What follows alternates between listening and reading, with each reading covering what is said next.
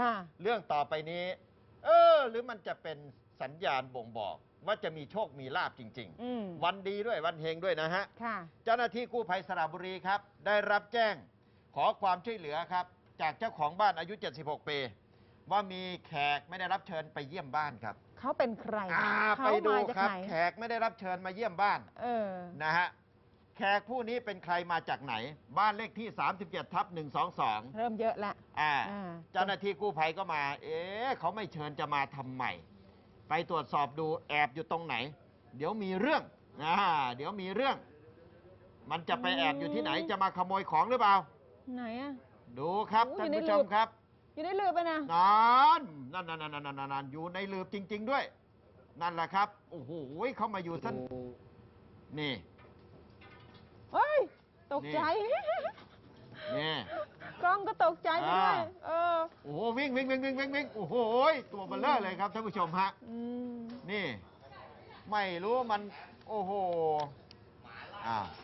ไอ้น้ำตาลเห่าเห่าแม่เป็นตัวเงินตัวทองครับ ความยาวประมาณสักหนึ่งเมตรฮะเจ้าหน้าที่ก็ไล่จับอยู่พักใหญ่ในที่สุดก็จับได้โดยละม่อมครับไม่ใช่โดยเจ้าหน้าที่นะอ่าโดยเจ้าหน้าที่นี่แหละฮะจับได้แล้วครับเออไม่ใหญ่มากนะไม่ใหญ่มากไปไม่ใหญ่มากอืมนะครับ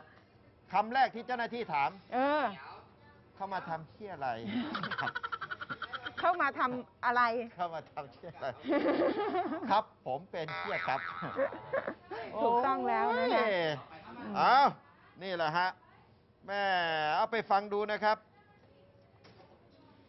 ก็ไอ้หน่อยจดบ้านเลขที่ไว้แล้วนุ่นทำไมล่ะจะไปทำอะไรตรวจตรวจตรวจแล้วจะทำอะไร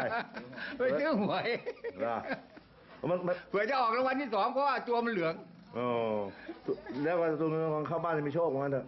เขาว่ามีโชคก็ต้องทูบบอกแล้วอันนั้นอืมจุดทูบบอกไงยายจุดทูบบอก จุดทูบบอกบอกบอกไงยายบอกยายอ่าเนี่ยเงินตัวทองเข้าบ้านอ่าขอโชคขอลาบนะอืมแล้วถ้าถูก ให้ถูกเยอะๆนะ จะทำบุญบ้านให้ อืม ปีใหม่ อืผมว่านะ เท่าที่ผมดูเรื่องนี้นะ อืม ผมว่าบนน่ะสามเฮ้ยล่างอะหนึ่ง เฮ้ย คุณกระพูไม่ได้ จะจริมาง จะมาเก่งอย่างนี้ไม่ได้ คุณดูนุคุณตาแย้มเวลาแกหัวเราะ เออ คุณดู อ้าว เดี๋ยวทีมงานเปิดตอนตาแย้มหัวเราะ อ่า บนเท่าไหร่นะดูสิ เดี๋ยวดู บน เอ้ยอะสามจริงๆบนสามได้ล่างหนึ่ง งานนี้ หมด หมดตัว